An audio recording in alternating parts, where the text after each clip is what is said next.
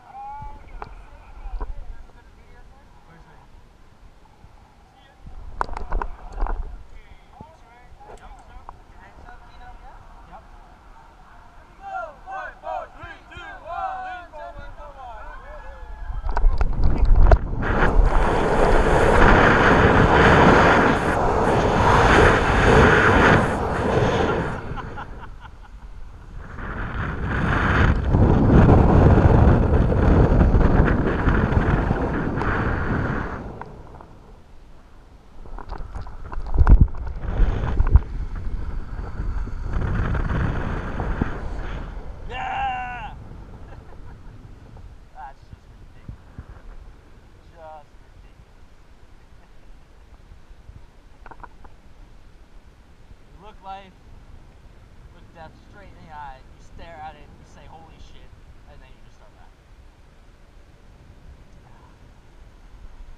Whew. It's a little scarier than driving a 40 year old sports car 100